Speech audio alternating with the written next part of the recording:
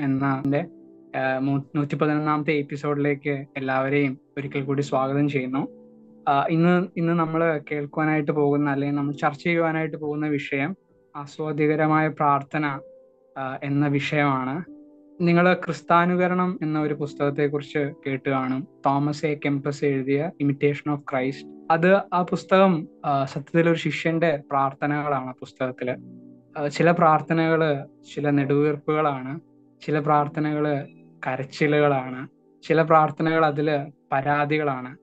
എന്നാൽ അതിലെ ചില പ്രാർത്ഥനകൾ യേശുക്രിസ്തുവുമായിട്ടുള്ള ബന്ധത്തിൽ ബന്ധത്തിലുള്ള അദ്ദേഹത്തിന്റെ ആസ്വാ ആ ഒരു ആസ്വാദനത്തിന്റെ ആ പരമാനന്ദത്തിന്റെ ഒരു ആ ഉച്ചസ്ഥായിയിൽ അദ്ദേഹം എഴുതിയ ചില പ്രാർത്ഥനകളും ആ പുസ്തകത്തിലുണ്ട്. അതിലൊരു പ്രാർത്ഥന ഇങ്ങനെയാണ്. Your servant rejoices in you not in myself or in any other you alone are my true joy you are my hope and my crown you are my gladness and my honour നിന്റെ ദാസൻ തന്നിൽ തന്നെയും മറ്റൊന്നിലുമല്ല. നിന്നിൽ മാത്രം സന്തോഷിക്കുന്നു. നീ മാത്രമാണ് എന്റെ യഥാർത്ഥ ആനന്ദം. നീ മാത്രമാണ് എന്റെ പ്രത്യാശയും കിരീടവും. എന്റെ ആനന്ദവും ആരാധനയും നീ മാത്രമാണ്. ഇവിടെ കൂടിയിരിക്കുന്ന എല്ലാവരും അവർ പ്രാർത്ഥിക്കുന്ന എല്ലാവരും തന്നെ പ്രാർത്ഥിക്കുന്നവരാണ്. എന്നാൽ നമ്മൾ എത്ര പേര് ഒരു പ്രാർത്ഥനയുടെ ആസ്വാദനത്തിന് പ്രാർത്ഥനയിൽ ഒരു ആസ്വാദനത്തിന്റെ തലം നമ്മൾ എത്ര പേര് കൈവരിച്ചിട്ടുണ്ടെന്ന് എനിക്കറിയില്ല. പലപ്പോഴും നമുക്കൊക്കെ ആ ഒരു തലം പ്രാർത്ഥനയിലെ ആസ്വാദനത്തിന്റെ തലം നമുക്കൊക്കെ അപരിചിതമാണ്. പ്രാർത്ഥനയിൽ ആസ്വാദനം വരണമെങ്കിൽ പല കാര്യങ്ങൾ അതിലേക്ക് പല കാര്യങ്ങൾ ഒന്നിച്ചു ചേരുമ്പോഴാണ് ആ പ്രാർത്ഥന എന്നത് ഒരു ആസ്വാദനമായി തീരുന്നത്. പ്രാർത്ഥിക്കുന്ന വ്യക്തിയും ദൈവവുമായിട്ടുള്ള ബന്ധം അതുപോലെ അതിലെ സംഭാഷണത്തിന്റെ വിഷയങ്ങൾ ഒക്കെ അല്ലെങ്കിൽ അദ്ദേഹം പ്രാർത്ഥിക്കുന്ന വ്യക്തിയും ദൈവവുമായിട്ടുള്ള വൈകാരികമായിട്ടുള്ള അടുപ്പം അങ്ങനെ ആ സാഹചര്യങ്ങളൊക്കെ പ്രാർത്ഥനയുടെ ആസ്വാദനത്തെ നിയന്ത്രിക്കുന്ന കാര്യങ്ങളാണ്. ഞാൻ ജീവിതത്തിൽ കണ്ടുമുട്ടി അല്ലെങ്കിൽ അറിഞ്ഞ പ്രാർത്ഥനയിൽ ആനന്ദം അല്ലെങ്കിൽ ആസ്വാദ്യത കണ്ടെത്തിയ ഞാൻ ജീവിതത്തിൽ കണ്ടുമുട്ടിയ അങ്ങനെ വളരെ ചുരുക്കം ചില വ്യക്തികളിൽ ഒരാളാണ് ജോയ് സാറ്. ജോയ് സാറ് പ്രാർത്ഥിക്കുന്ന ഒരു മനുഷ്യനാണെന്ന് നമുക്ക് എല്ലാവർക്കും അറിയാം പ്രാർത്ഥനയെക്കുറിച്ച് സംസാരിക്കുവാനായിട്ട് ഇഷ്ടപ്പെടുന്ന ഒരു മനുഷ്യനാണ്. പ്രാർത്ഥനയിലെ ആസ്വാദ്യത കണ്ടെത്തിയ ഒരു മനുഷ്യനാണ്. അപ്പം ജോയ് സാറാണ് നമ്മളോട് ഈ വിഷയം അദ്ദേഹം തന്നെയാണ് ഏറ്റവും ഈ വിഷയം കൈകാര്യം ചെയ്യാനായിട്ട് അനുയോജ്യനായ വ്യക്തി. അദ്ദേഹമാണ് ജോയ് സാറാണ് നമ്മളോട് ഈ വിഷയം സംസാരിക്കുന്നത് ആസ്വാദികരമായ പ്രാർത്ഥന എന്ന വിഷയം. ജോയ് സാറിനെ വിഷയം കൈകാര്യം ചെയ്യാനായിട്ട് ക്ഷണിക്കുന്നു. നമ്മുടെ കർത്താവിന് എല്ലാം മഹത്വം അർപ്പിക്കുന്നു. ഈ വിഷയത്തെ പറ്റി ഏറ്റവും നന്നായിട്ട് ക്ലാസ് എടുക്കുന്ന ഞാനല്ല. ചില കാര്യങ്ങൾ നിങ്ങളോട് പറയാനായിട്ട് വചനത്തിൽ നിന്നും എന്റെ അനുഭവത്തിൽ നിന്നും മനസ്സിലായ ചില കാര്യങ്ങൾ പറയാനായിട്ട് ശ്രമിക്കാം. അത് നിങ്ങൾക്ക് അനുഗ്രഹമായി തീരുമെന്ന് പ്രതീക്ഷിക്കുന്നു. പ്രാർത്ഥനയെ പറ്റി നമ്മൾ ചിന്തിക്കുമ്പോൾ പ്രാർത്ഥന വളരെ പ്രധാനപ്പെട്ട കാര്യമാണ് നമുക്കറിയാം. പ്രാർത്ഥിക്കാൻ ഇഷ്ടപ്പെടുന്നവരാണ് നാം. എല്ലാവരും പ്രാർത്ഥിക്കുന്നില്ലെന്ന് മാത്രമേ ഉള്ളൂ വേണ്ടത്. അപ്പൊ പ്രാർത്ഥനയെ പറ്റി പറയുമ്പോൾ അതൊരു കഠിന പ്രയത്നമാണ് അതൊരു പോരാട്ടമാണ്. It is a very hard work it is a struggle എന്ന് ഒരു വശം നിശ്ചയമായിട്ടും പ്രാർത്ഥനയെ പറ്റി പറയാനായിട്ട്. അപ്പൊ ആദ്യം ഞാനത് സൂചിപ്പിക്കാം. എന്നിട്ട് അടുത്ത വശത്തിലേക്ക് പോകും. അടുത്ത വശം എന്ന് പറയുന്നതാണ് ഇന്ന് പറയാൻ നമ്മൾ ആഗ്രഹിച്ച വിഷയം. പ്രാർത്ഥനയുടെ ആസ്വാദ്യകരമായിട്ടുള്ള വശം. പ്രാർത്ഥന ഒരു കഠിന പ്രയത്നം അല്ലെങ്കിൽ ഒരു പോരാട്ടമായിരിക്കുന്നതിന്റെ കാരണം എന്താണ്? ചില വാക്യങ്ങൾ ഞാൻ സൂചിപ്പിക്കുക മാത്രം ചെയ്യാം. കൊലോസിയർ നാലിന്റെ പന്ത്രണ്ട്. നിങ്ങളിൽ ഒരുത്തനായി ക്രിസ്തുവേശുവിന്റെ ദാസനായ എഫപ്രാസ് നിങ്ങളെ വധന ചെയ്യുന്നു.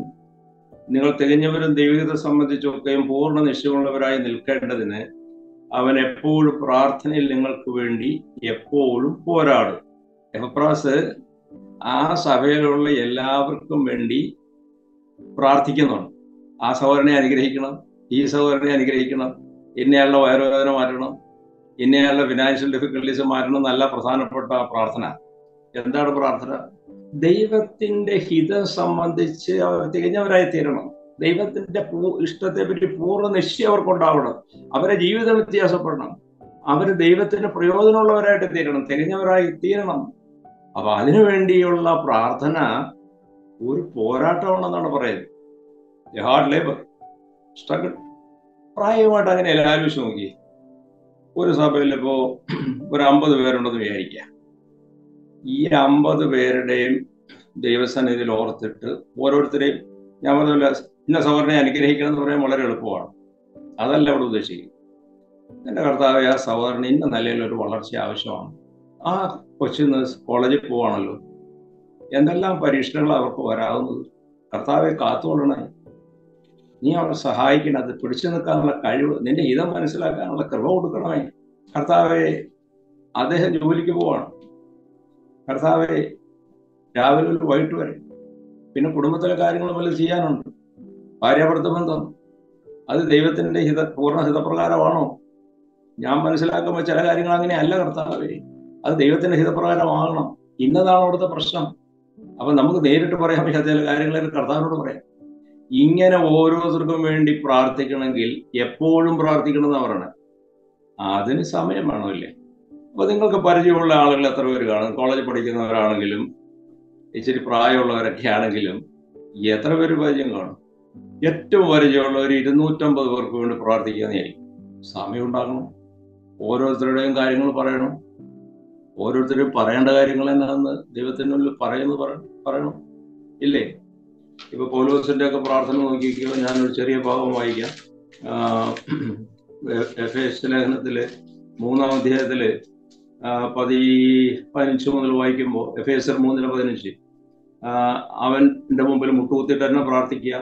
അവൻ തന്നെ മഹത്വത്തിന് ധനത്തിനൊത്തവണ്ണം അവന്റെ ആത്മാവിനാൽ നിങ്ങൾ അകത്തെ മനുഷ്യനെ സംബന്ധിച്ച് ശക്തിയോട് ബലപ്പെടേണ്ടതിനും ക്രിസ്തു വിശ്വാസത്താൽ നിങ്ങളുടെ ഹൃദയങ്ങളിൽ വസിക്കേണ്ടതിനും വരം നൽകേണ്ടതെന്നും നിങ്ങൾ സ്നേഹത്തിൽ വേരൂന്നി അടിസ്ഥാനപ്പെട്ടവരായി വീതിയും നീളവും ഉയരവും ആഴവും തന്ന സകല വിശുദ്ധന്മാരുടെ ഗ്രഹിപ്പാനും അങ്ങനെ ദൈവത്തിന്റെ സ്നേഹ ക്രിസ്തുവിന്റെ സ്നേഹത്തെ അറിവാനും പ്രാർത്ഥനാക്കുകയും ദൈവത്തിന്റെ എല്ലാ നിറവോളം നിറഞ്ഞിരിക്കുകയും വേണം.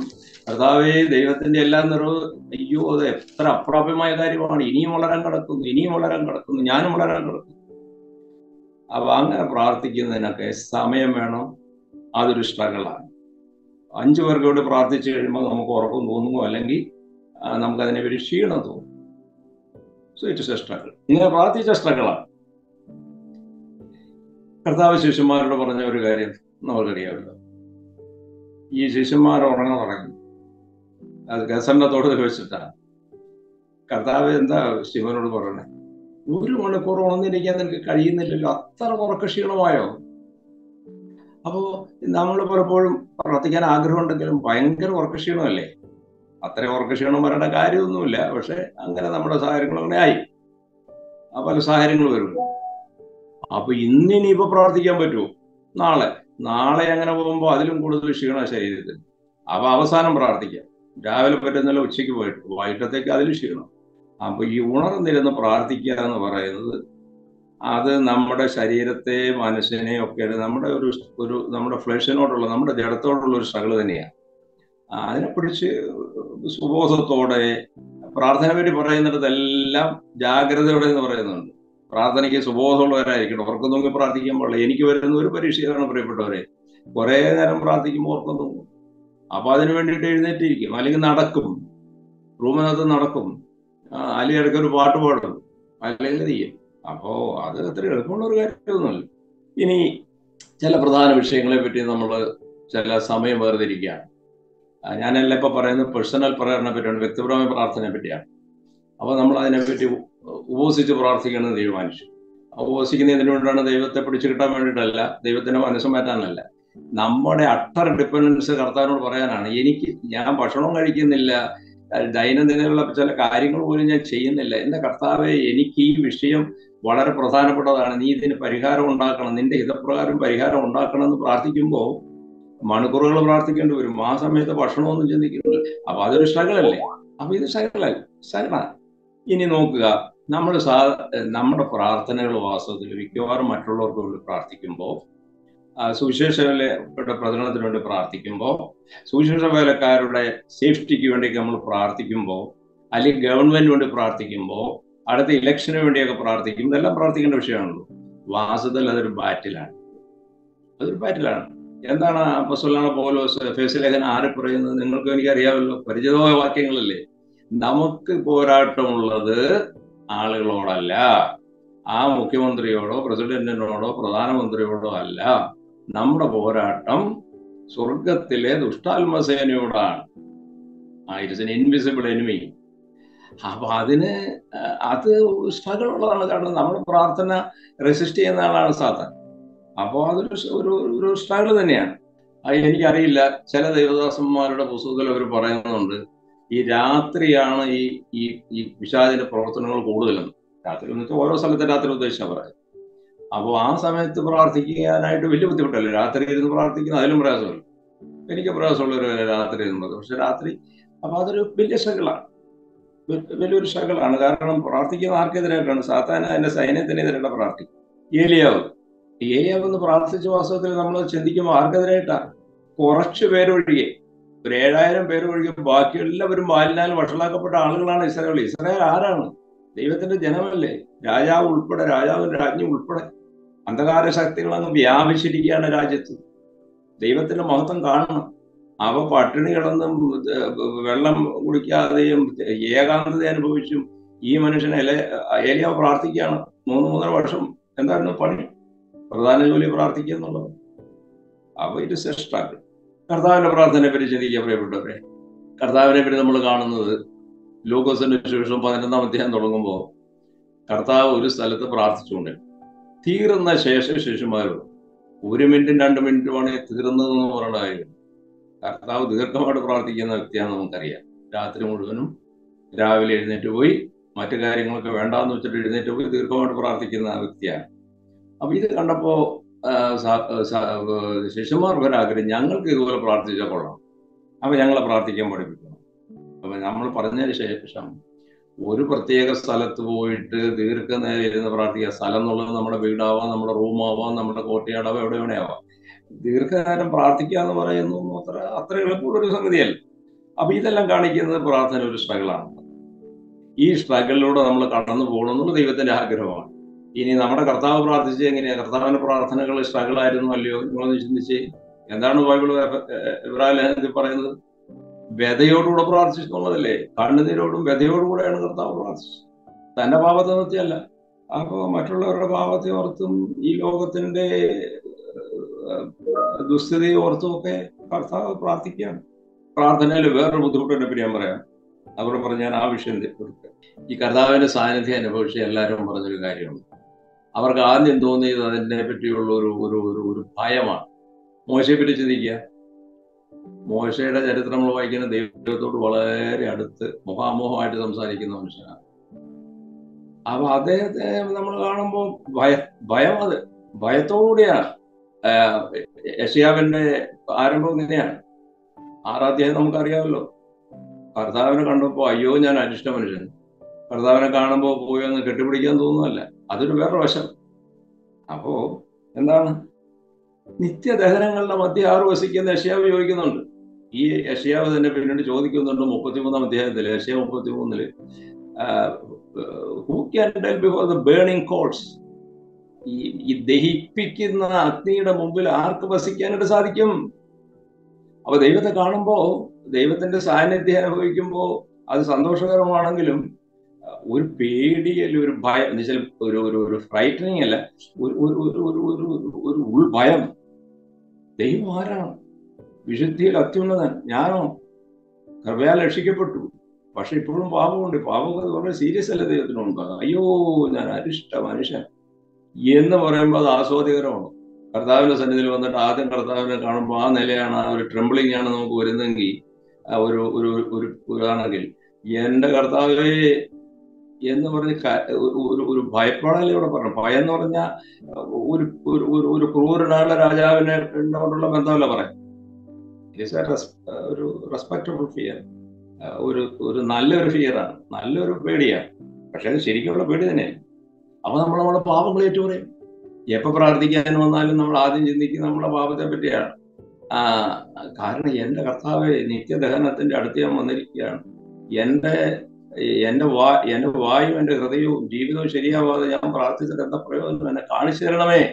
എന്റെ കുറവുകൾ അപ്പൊ കർത്താവ് കാണിച്ചു തരും. അതിനെ ഏറ്റു പറഞ്ഞു അപ്പൊ അതും ഇതിന്റെ ഒരു ഭാഗമാണ്. അതൊക്കെ വരുമ്പോൾ ഒരു ഇഷ്ടങ്ങളാണ് അപ്പൊ ആ ഭാഗം ഞാൻ അവസാനിപ്പിക്കട്ടെ. പ്രാർത്ഥന വളരെ ലളിതമായ ഒരു കാര്യമായിട്ട് നമ്മൾ വിചാരിച്ചാൽ അത് ശരിയല്ല. ലളിതം എന്ന് പറഞ്ഞ ഒരർത്ഥത്തിൽ ശരിയാണ്. കാരണം എന്താ ഒരു കൊച്ചുകുട്ടി അപ്പന്റെ അടുത്ത് വന്ന് കാര്യങ്ങൾ പറയുമ്പോൾ അതിനൊന്ന് ഫോർമാലിറ്റി ഉണ്ടോ? ഇൻട്രൊഡക്ഷന്റെ ആവശ്യമുണ്ടോ? മുഖവരയുടെ ആവശ്യമുണ്ടോ?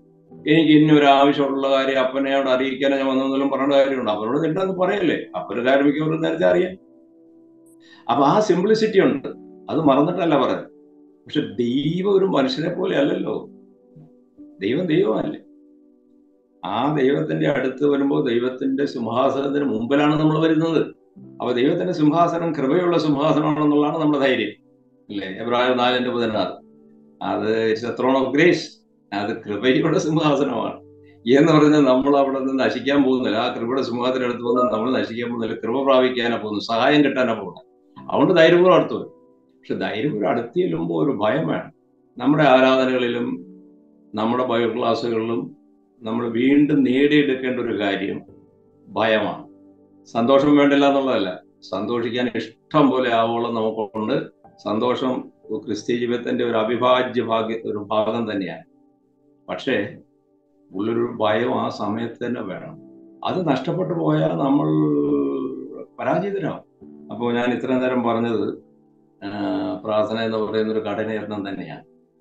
അതൊരു പോരാട്ടമാണ്. എല്ലാവർക്കും വേണ്ടി പ്രാർത്ഥിക്കണമെങ്കിൽ വചനം പറയുന്ന പോലെ പ്രാർത്ഥിക്കണമെങ്കിൽ ദീർഘസമയം പ്രാർത്ഥിക്കണമെങ്കിൽ അതൊരു പോരാട്ടം തന്നെയാണ്. അത് അന്ധകാര ശക്തികൾക്ക് എതിരായിട്ടുള്ള ഒരു ബാറ്റിലാണ് ഒരു ഒരു യുദ്ധമാണ്. സീരിയസ് ആയിട്ട് എടുക്കേണ്ട യുദ്ധം ആരെങ്കിലും സീരിയസ് ആയിട്ട് എടുക്കാതിരിക്കുക ആ ശക്തിയുള്ള ഒരു ശത്രുവിനെതിരായിട്ട്. അപ്പൊ ആ വശമൊന്നും മാറ്റി വെച്ചിട്ട് ഇന്ന് നമുക്ക് പറയാൻ പോകുന്ന പ്രധാനപ്പെട്ട വശം എന്ന് പറയുന്നത് പ്രാർത്ഥനയുടെ ആസ്വാദ്യത എന്നുള്ളതാണ്. പ്രാർത്ഥനയുടെ ആസ്വാദ്യത എന്നുള്ളത്. അപ്പൊ അതിൽ ആറേഴ് കാര്യങ്ങൾ പറയാനായിട്ട് ഞാൻ ആഗ്രഹിക്കുന്നു. ചുരുക്കമായിട്ട് പറയാം. പിന്നെ അവസാനം ഏതെങ്കിലും ഒരു വിഷയ വിഷയത്തെ പറ്റി കൂടുതൽ ചർച്ച ആവശ്യമുണ്ടെങ്കിൽ എനിക്ക് അറിയുന്ന പോലെ ഞാൻ അതിനെപ്പറ്റി സംസാരിക്കുകയും ചെയ്യും. ആ പ്രാർത്ഥന ആസ്വാദ്യമായിരിക്കുന്നതിന്റെ ഒരു കാരണം ഞാൻ ഒന്നാമതായിട്ട് പറയാൻ ആഗ്രഹിക്കുന്നത് നമ്മുടെ പ്രാർത്ഥനയിൽ ദൈവം പ്രസാദിക്കുന്നു എന്നുള്ളതാണ്. നമ്മുടെ പ്രാർത്ഥനയിൽ ദൈവം പ്രസാദിക്കും. ചില ഉദാഹരണങ്ങൾ വായിക്കാൻ ഇപ്പോൾ വായിക്കേണ്ട അത്യാവശ്യമില്ല. ഞാൻ പറയാൻ മാത്രം ഞാൻ റെഫറൻസ് മാത്രം ഞാൻ പറയാം. വെളിപ്പാട് ദിവസം എട്ടിന് നാല്.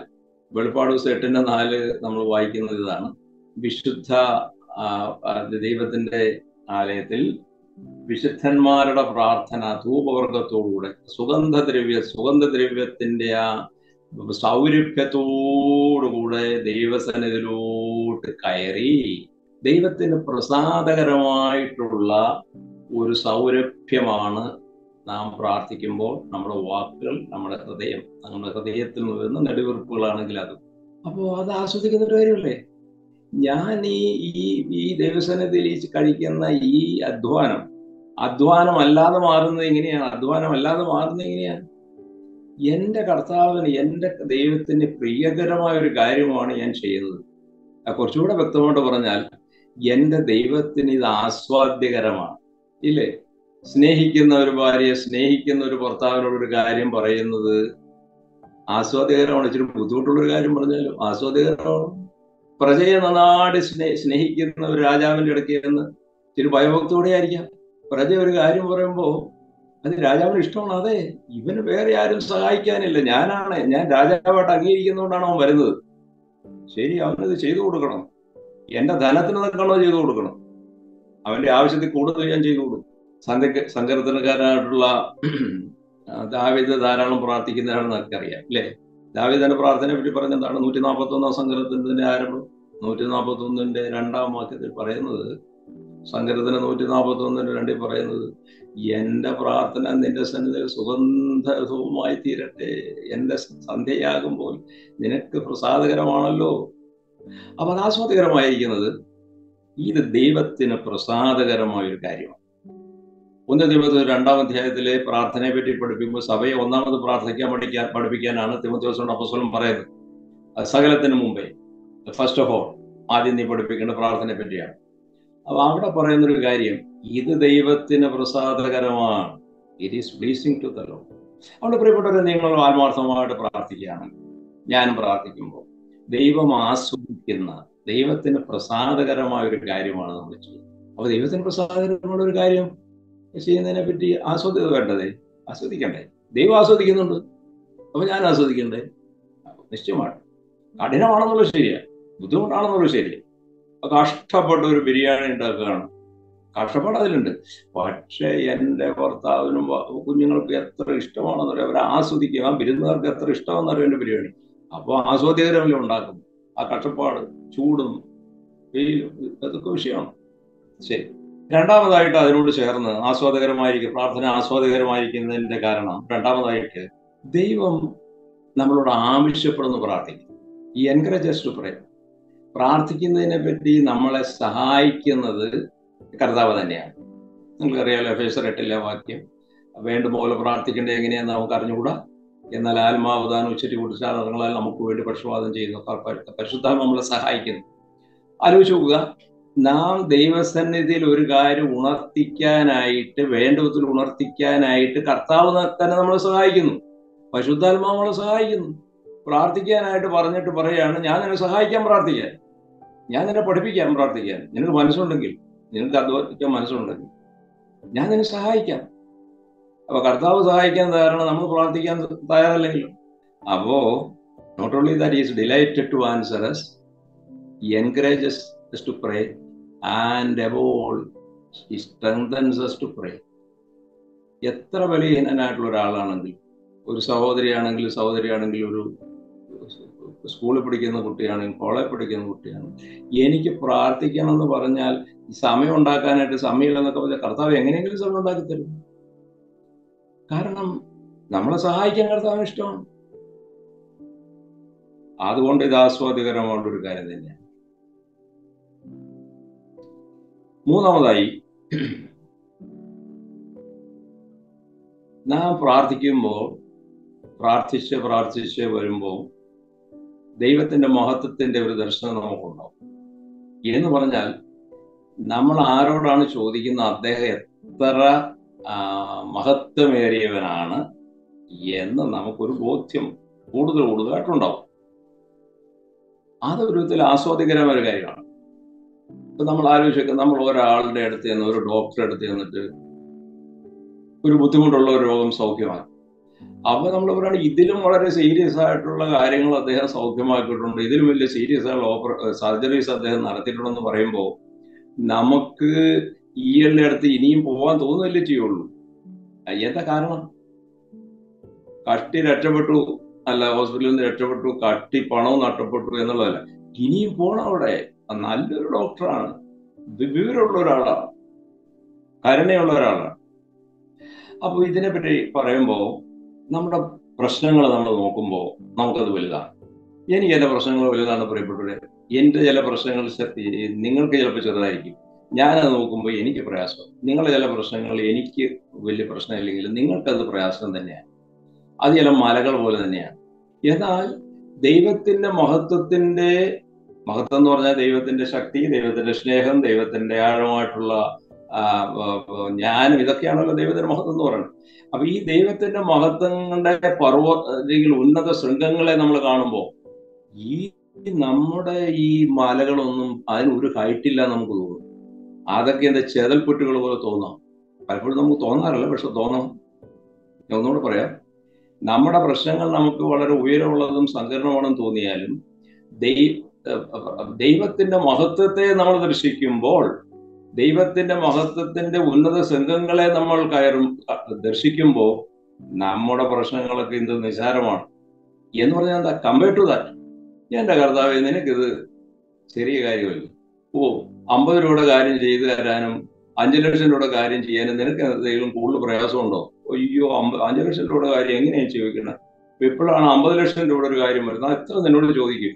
അഞ്ചു ലക്ഷം ചോദിക്കുന്നതിന് ഇച്ചിരി കൂടുതലാണെന്ന് എനിക്കറിയാം. പിന്നെ അമ്പത് ലക്ഷം ചോദിക്കുക. ഇല്ല കർത്താവിനെ പറഞ്ഞു ഈ നീ ഇത് കണ്ടിട്ടില്ല. എന്റെ ഉയരം നീ കണ്ടിട്ടില്ല.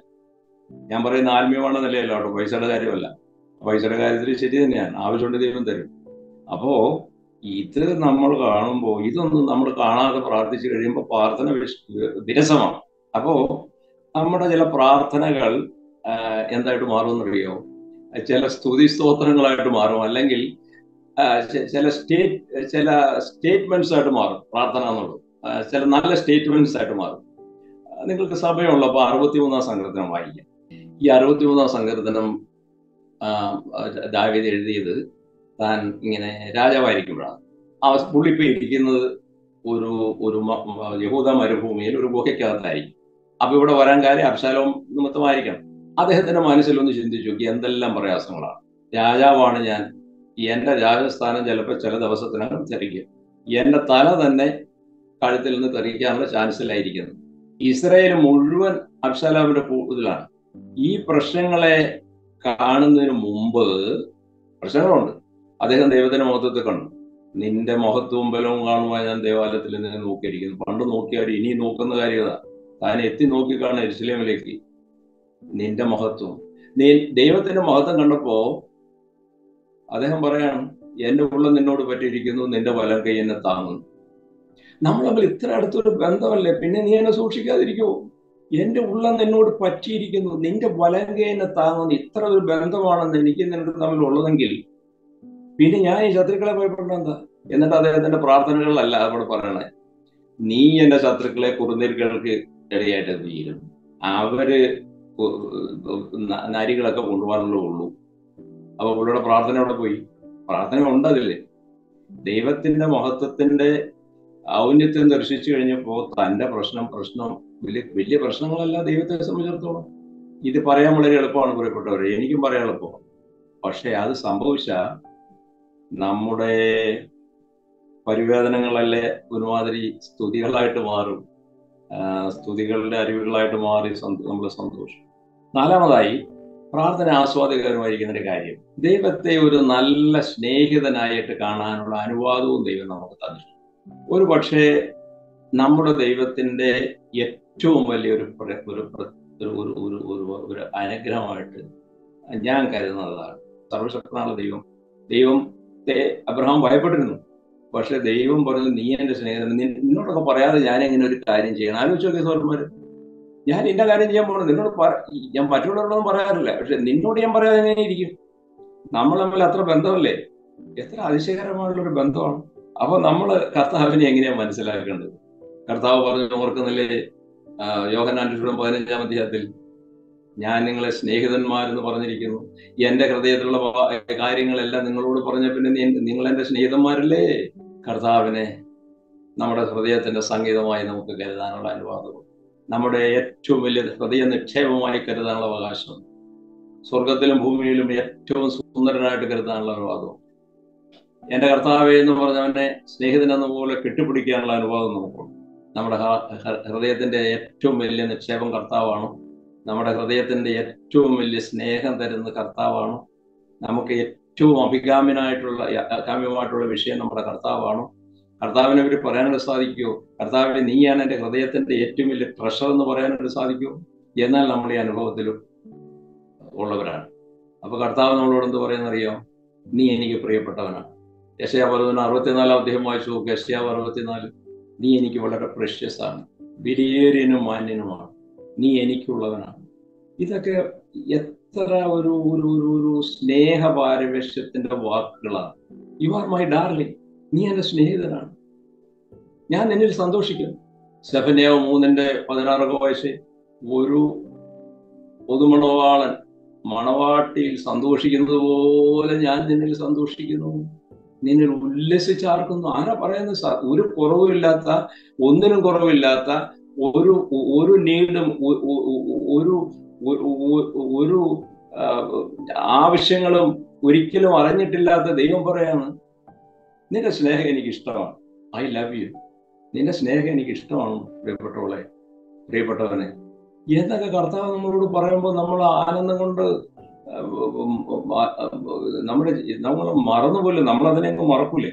നിന്റെ സന്നദ്ധയിൽ സന്തോഷ പരിപൂർണതയും ഓസ്റ്റിൻ മൈൽസ് എന്ന് പറയുന്ന ഒരാൾ എഴുതിയൊരു പാട്ടുണ്ട്. ആയിരത്തി തൊള്ള ആയിരത്തി തൊള്ളായിരത്തിൽ എഴുതിയൊരു പാട്ടാണ്. I came to the garden alone ഞാൻ ഇടയ്ക്കിടയ്ക്ക് പാടാറുള്ള ഒരു പാട്ടാണ്. അതിലെ ചില ചരണങ്ങൾ പാടുന്നത് എനിക്ക് ഇഷ്ടമാണ് ആ പാട്ട് ഇങ്ങനെയാണ് ഞാൻ പാടുകയല്ല വായിക്കാം. I come to the garden alone while dew is still on the roses കർത്താവെ ഞാൻ എന്റെ തോട്ടത്തിലേക്ക് ഹൃദയം എന്ന തോട്ടമാണ്. ഞാൻ എന്റെ തോട്ടത്തിലോട്ട് വരികയാണ്. അതിരാവിലെ വരികയാണ്. The dew is still on the roses ആ റോസാ പുഷ്പങ്ങളിലെ മഞ്ഞ് വിരിഞ്ഞിട്ടില്ല മ- മഞ്ഞ് ഉരുകിപ്പോയിട്ടില്ല. അത്ര രാവിലെ ഞാൻ വരികയാണ് അതിന്റെ voice I hear falling on my ear the son of God discloses എന്റെ കർത്താവിനെ ഞാൻ അവിടെ കാണുന്നു. അവൻ തന്നെ തന്നെ എനിക്ക് വെളിപ്പെടുത്തുന്നു. എന്നിട്ട് എന്താണ് ചെയ്യുന്നത്?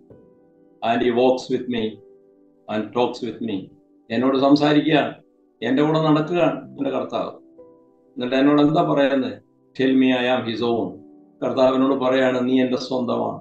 കൂടെ നടന്നിട്ട് കയ്യെ പിടിച്ച് നടക്കുമ്പോൾ കർത്താവ് പറയാണ് നീ എന്റെ സ്വന്തമാണ്. പറഞ്ഞു. ഞങ്ങളങ്ങനെ നടക്കുമ്പോഴുള്ള സന്തോഷം വേറെ ആരും അറിഞ്ഞിട്ടില്ല. ഞങ്ങൾ മാത്രമേ അറിയുന്നുള്ളൂ അതിന്റെ അവസാന ഖണ്ഡിക അവസാന സ്റ്റാൻസ് എങ്ങനെയാണ്? I would stay in the garden with him though the night around me is falling നടന്ന് നടന്ന് നടന്ന് രാത്രിയായി. ഇതൊക്കെ ഭാവനയാണല്ലോ. രാത്രിയായി. എനിക്ക് പോവാൻ തോന്നണില്ല. അപ്പൊ കർത്താവ് പറയാണ് ഈ ബിഡ്സ് മീ ഗോ കർത്താവ് പറയാണ് മോനെ നിനക്ക് ജോലിയൊക്കെ ചെയ്യാനില്ലേ? നിനക്ക് കുടുംബത്തിലെ കാര്യമൊക്കെ ചെയ്യാനില്ലേ? നീ പോകും നമുക്ക് ഉടനെ കാണാം. നമുക്ക് ഒരുമിച്ച് നടക്കാം. ഇതാണ് ആ പാട്ട്. ഏത് പാട്ടിൽ ഇച്ചിരി ഭാവനയുണ്ടെന്നുള്ള കാര്യം നിങ്ങൾ. പക്ഷെ ഇത് യാഥാർത്ഥ്യമാണ്. ഞാൻ അതിന്റെ ബാക്കി എന്റെ എന്റെ ഭാവനയിൽ ഞാൻ കർത്താവിനോട് പറയാറുണ്ട്. കർത്താവ് ഇങ്ങനെയൊക്കെ നടക്കാൻ എന്റെ ആഗ്രഹം ഈ ഭൂമിയിൽ. വേറെ ഒന്നും വലിയ ആഗ്രഹങ്ങളൊന്നുമില്ല അപ്പൊ ഇങ്ങനെ ചിന്തിക്കാറുണ്ട് ഒരു ദിവസം കർത്താവ് പറയും മോനെ ഇനി ഈ ഭൂമിയിൽ എന്തിനാ നടക്കണം? നമുക്കിവിടെ സ്വർഗത്തിൽ ഒരുമിച്ച് തന്നെ നടക്കാൻ പാടില്ലേ? സ്വർഗീയ ഈ ഭൂമിയിൽ നമ്മൾ ഒരുമിച്ച് നടന്നതിനേക്കാൾ സുഖം ഇവിടെയല്ലേ? നിനക്ക് ചില ജോലികൾ ചെയ്യാനുള്ളതുകൊണ്ട് ഞാൻ അവിടെ ഭൂമിയിൽ നിന്നെ ആക്കി നിന്റെ ജോലി ഇപ്പൊ തീർന്നു. ഇനി ഒട്ടും താമസിക്കണ്ട. ഇങ്ങോട്ട് പോരെ. ഈ ജീവ ജീവജല നദികളുടെ അടുത്ത് നമുക്ക് ഒരുമിച്ചൊന്നും ഇല്ലാത്ത അങ്ങനെയൊക്കെ കർത്താവ് പറയുകയാണെങ്കിൽ അതിലെ ജീവിതത്തിന്റെ സാഫല്യം. അഞ്ചാമതായി പ്രാർത്ഥനയുടെ വ്യാപ്തിയാണ്. അതിനെപ്പറ്റി ഞാൻ ദീർഘമായിട്ട് വിവരിക്കുന്നത് നിങ്ങൾക്ക് അറിവുള്ള ഒരു കാര്യമാണ്. എന്താണ് പ്രാർത്ഥനയുടെ വ്യാപ്തി എന്ന് പറയുന്നത്? ഒരു വീട്ടമ്മയ്ക്ക് സൗത്ത് നോർത്ത് കൊറിയയ്ക്ക് വേണ്ടി എന്ത് ചെയ്യാനായിട്ട് പറ്റും? അവൾക്ക് നോർത്ത് കൊറിയ പോകാൻ പറ്റും. നോർത്ത് കൊറിയയിലെ പ്രശ്നങ്ങൾ അറിയാം. കമ്മ്യൂണിസ്റ്റ് ചൈനയിൽ ഇപ്പോഴത്തെ പ്രശ്നങ്ങൾ അറിയാം. വിവരങ്ങൾ ശേഖരിക്കാൻ ആഗ്രഹിക്കുന്നത്. നൈജീരിയയിലെ പ്രശ്നങ്ങൾ അറിയാം. മണിപ്പൂരിലെ പ്രശ്നങ്ങൾ അറിയാം. യു പിയിലെ പ്രശ്നങ്ങൾ അറിയാം. ഇവിടെ ഇവിടെയെല്ലാം പോകാൻ പറ്റുമോ? പ്രാർത്ഥനയുടെ ചെറുകിൽ പോവാം. പ്രാർത്ഥനയുടെ ചെറുകിൽ പോയി അവർ അവർക്ക് വേണ്ടി പ്രാർത്ഥിക്കും. അവിടെയൊക്കെ വ്യത്യാസം വരുത്തത്തക്കവണ്ണം പ്രാർത്ഥിച്ച് വ്യത്യാസം വരുത്തുന്നത് കർത്താവിന് ഇഷ്ടമാണ്.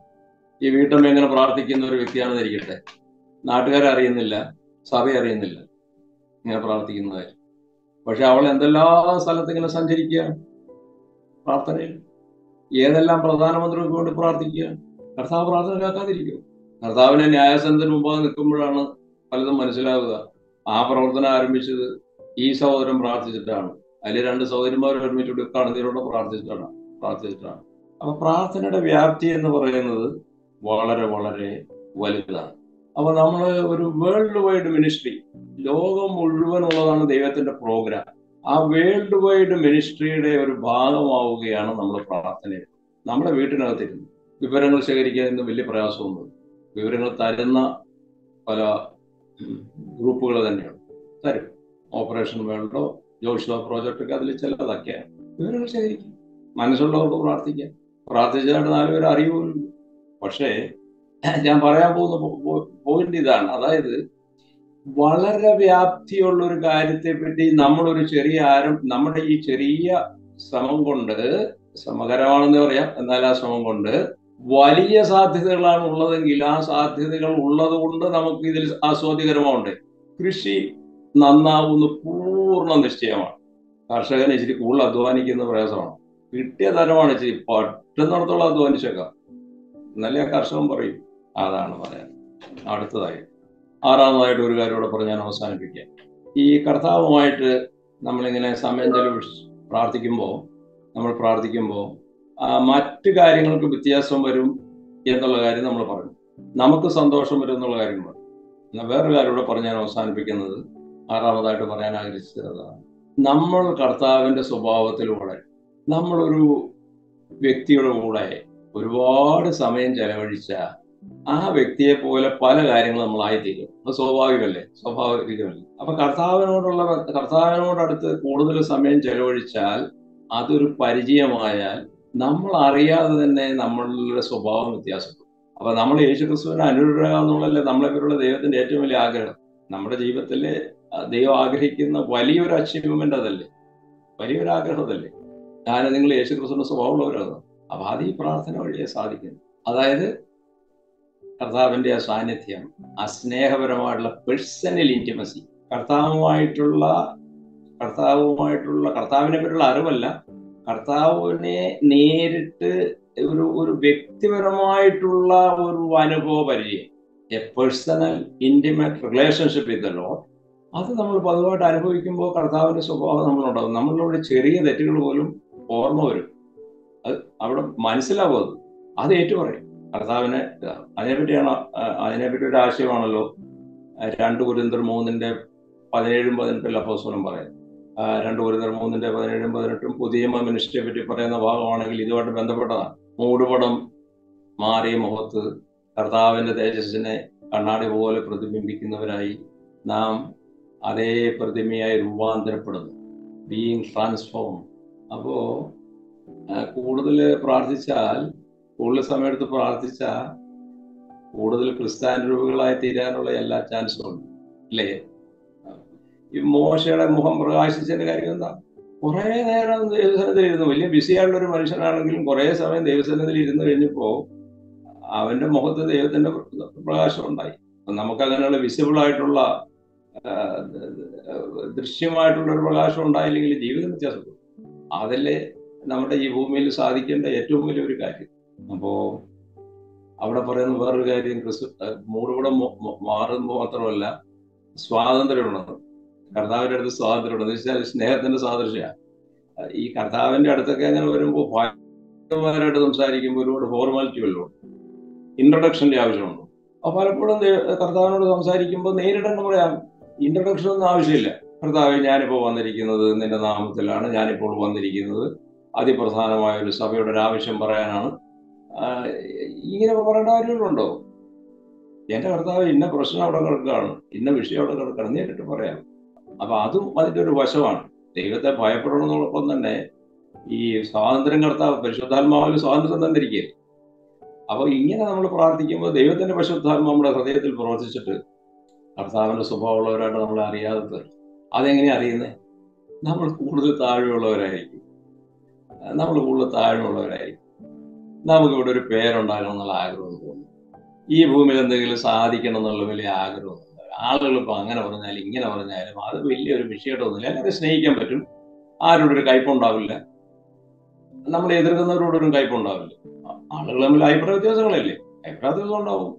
പക്ഷെ ആരോടൊരു കയ്പില്ല നമ്മുടെ തലേന്ന് പല ഭാരങ്ങളും അങ്ങ് ഇല്ലാതെ അങ്ങ് മാറും പല കാര്യങ്ങളും നമ്മൾ സ്വാതന്ത്ര്യം പ്രാപിക്കും. കർത്താവ് നമ്മളെ സഹായിക്കട്ടെ. അപ്പോ ആറ് വശങ്ങളെ പറ്റി ഞാൻ പറഞ്ഞു. ഇതിൽ ഏതെങ്കിലും ഒരു വശത്തെ പറ്റി കൂടുതൽ പറയണമെങ്കിൽ പറയാം. ഒന്നാമതായിട്ട് പറഞ്ഞത് കർത്താവ് നമ്മളെ പ്രാർത്ഥനയിൽ പ്രസാദിക്കുന്ന ദൈവത്തിന് ഇഷ്ടമുള്ള ഒരു കാര്യം നമ്മൾ ചെയ്യുന്നത് നമ്മുടെ ആസ്വാദിത രണ്ടാമത് കർത്താവ് നമുക്ക് ഉത്തരം തരുന്ന കർത്താവിന് ഇഷ്ടമുള്ള ഒരു കാര്യമാണ്. എൻകറേജ് ചെയ്യുമ്പോൾ മാത്രമല്ല ഇഷ്ടം തരുന്ന ഒരു ഒരു ഒരു കാര്യമാണ്. ചോദിച്ചു ഞാൻ തരാം എന്ന് പറഞ്ഞിരിക്കുകയാണ്. അപ്പൊ കർത്താവിന് ഇഷ്ടമാണ് ഉത്തരം തരളത് മൂന്നാമതായിട്ട് പറഞ്ഞത് ദൈവത്തിന്റെ മഹത്വത്തിനെ നമ്മൾ കൂടുതൽ കൂടുതൽ ദർശിക്കുമ്പോൾ നമ്മുടെ പ്രശ്നങ്ങളുടെ ഉയരം കുറഞ്ഞു കുറഞ്ഞ് നമുക്ക് തോന്നും. നമ്മുടെ പല പ്രാർത്ഥനകളും ഒരു ഒരു ഒരു ഒരു സ്തുതിഗീതങ്ങളായിട്ട് മാറും. അപ്പോൾ അത് ആനന്ദകരമായ ഒരു കാര്യമാണ്. നാലാമതായിട്ട് പറഞ്ഞത് കർത്താവുമായിട്ടുള്ള ഒരു പേഴ്സണലായിട്ടുള്ള വ്യക്തിപരമായുള്ള സ്നേഹബന്ധം ആസ്വദിക്കാനുള്ള അനുവാദം തന്നിട്ടുണ്ട്. കർത്താവ് നമ്മളെ ഒരു സ്നേഹിതനെ പോലെ കരുതുന്നതിന് ഇഷ്ടമുള്ള ഒരു കാര്യമാണ്. നമ്മളിൽ സന്തോഷിക്കാൻ ഇഷ്ടപ്പെടുന്നവനാണ്. നമ്മൾ കർത്താവിനോട് പറയാണ് കർത്താവ് നീ എനിക്ക് വളരെ പ്രിയപ്പെട്ടവനാണ് എനിക്ക് വളരെ പ്രഷ്യസ് ആണെന്ന് പറഞ്ഞാൽ കർത്താവ് നമ്മളോട് പറയാൻ ഇഷ്ടമാണ് നീ എനിക്ക് വളരെ പ്രഷ്യസ് ആണ്. പലർക്കും നീ പ്രഷ്യസ് ആയിരിക്കാം പക്ഷെ നീ എനിക്ക് വളരെ പ്രഷ്യസ് ആണ്. നീ എന്റെ ഡാർലിംഗ് ആണ്. എന്നൊക്കെ കർത്താവ് നമ്മളോട് പറഞ്ഞാൽ അത് ആസ്വദിക്കാനുള്ള ഒരു കാര്യമല്ലേ? അപ്പൊ അതിനൊരു ഒരു ഒരു ഉദാഹരണമാണ് ഞാൻ പറഞ്ഞ ഈ ദാവീദ് വലിയൊരു പ്രശ്നത്തിലൂടെ കടന്നുപോയി അറുപത്തിമൂന്നാം സംഘത്തിന് എഴുതിയപ്പോ തന്റെ പ്രശ്നങ്ങളെ പറ്റി അവസാനം ഒന്നും പറയാൻ അദ്ദേഹത്തിന് ഇല്ല അത് എന്താ പറയാനുള്ള അവസാനം? കർത്താവ് അവർ കുറുനലുകൾക്ക് ഇടയായി പോകും എന്നൊക്കെ പറഞ്ഞ് ഞാൻ സന്തോഷിക്കുക ഞാൻ സമാധാനപ്പെടുകയാണ്. ഒരു പ്രാർത്ഥന അതിലില്ല. പ്രാർത്ഥിക്കാൻ പാടില്ലാത്തല്ല പക്ഷെ പ്രാർത്ഥന ഒരു സ്തോത്രത്തിന്റെ സ്റ്റേറ്റ്മെന്റ് ആയിട്ട് മാറ്റി. പിന്നെ അഞ്ചാമതായിട്ട് പറഞ്ഞത് പ്രാർത്ഥനയുടെ വ്യാപ്തിയെ പറ്റിയാണ്. ലോകം മുഴുവൻ സ്വാധീനിക്കാവുന്ന ഒരു കാര്യമാണ് നമ്മൾ നമ്മളെ മുറിക്കാത്തിരുന്ന് ചെയ്യുന്നത്. അപ്പൊ അത് ആസ്വാദകരമുള്ള ഒരു കാര്യമാണ്. ഞാനൊരു ഉദാഹരണം പറഞ്ഞാൽ ഒരു കർഷകന്റെ കാര്യം. അല്ലെങ്കിൽ എന്തെങ്കിലും നമ്മളൊരു പണി ചെയ്യാൻ പോവാണ്. ശ്രമകരമായ ഒരു പണിയാണെങ്കിലും ഇതിന്റെ ഫലം അതിമഹത്താണെന്ന് പറഞ്ഞാൽ ആരെ ചെയ്യാതിരിക്കുക? അത് ആസ്വാദകരമായിട്ട് തന്നെ ചെയ്യപ്പെടും. ആറാമതായിട്ട് അവസാനമായിട്ടും പറഞ്ഞത് ഭർത്താവുമായിട്ടുള്ള പേഴ്സണൽ ഇന്റിമസി പുലർത്താനുള്ള ഒരു നല്ല അവസരം ആയിട്ട് പ്രാർത്ഥന മാറുന്നതുകൊണ്ട് അത് അവസാനം ഭർത്താവിന്റെ സ്വഭാവം കൂടുതൽ പ്രാപിക്കാനിടയാകും. അത് വളരെ അനുഗ്രഹമാണ്. ഈ ചിന്തകളാൽ ദൈവം നിങ്ങളെ അനുഗ്രഹിക്കട്ടെ. എന്റെ ജീവിതത്തിൽ ഞാൻ ഈ പറഞ്ഞ കാര്യങ്ങളെല്ലാം കൂടുതൽ കൂടുതൽ പ്രായമാക്കുവാൻ എനിക്ക് വേണ്ടിയിട്ട് നിങ്ങൾ പ്രാർത്ഥിക്കണം അപേക്ഷിക്കുന്നു. ഒരു അവസരം തന്നെ നന്ദി പറയാം. നമ്മളോട് സംസാരിച്ച ജോയ് സാറിന് കൃത്യമായിട്ട് നന്ദി പറയുന്നു. പ്രാർത്ഥന എന്താണെന്ന് നമ്മൾ കണ്ടു. അതുപോലെ അതിലെ ആസ്വാദ്യത എങ്ങനെയാണ് പ്രാർത്ഥന എന്നുള്ള ആ ഒരു പോരാട്ടം പോരാട്ടമായിരിക്കുമ്പോൾ തന്നെ അത് ആസ്വദിക്കാനായിട്ട് കഴിയുന്ന അല്ലെങ്കിൽ അതിൽ സന്തോഷം കണ്ടെത്തുവാനായിട്ട് കഴിയുക അതും ഇങ്ങനെയാണ് നമ്മൾ കണ്ടു. ജോയ് സാറിനോട് പ്രത്യേകമായിട്ട് നന്ദി പറയുന്നു.